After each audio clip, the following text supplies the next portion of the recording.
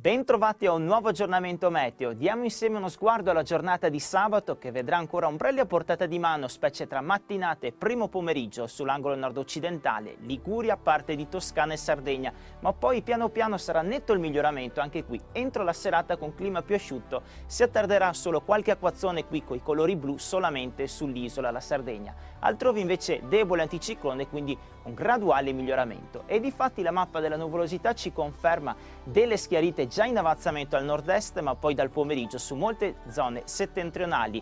Anche la mappa dell'Italia, guardate, clima nel complesso asciutto su molte regioni, non solo nord-orientali ma anche tutto il centro-sud, ultime residue piogge solo al nord-ovest, Sardegna. Temperature non fredde per il periodo, per venti ancora di scirocco. Aggiornamenti sull'app di Trevi Meteo.